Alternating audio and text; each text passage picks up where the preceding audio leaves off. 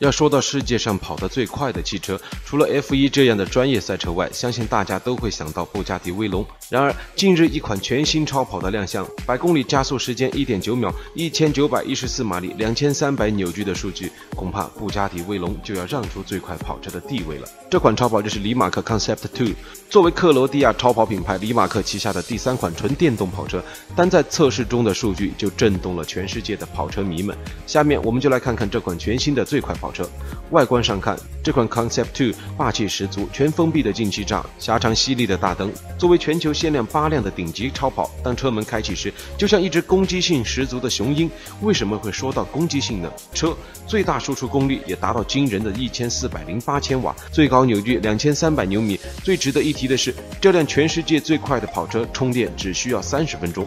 最大单次续航能力达到六百五十公里。最后，小编不得不感叹这辆纯电动跑车的惊人速度。这辆纯电动跑车也将会为全球新能源汽车的推动做出贡献，用速度来回应那些对新能源汽车动力不行的质疑。也希望这辆跑车上的充电和续航能力早日能够普及开来，为新能源汽车的全面推广做出表率。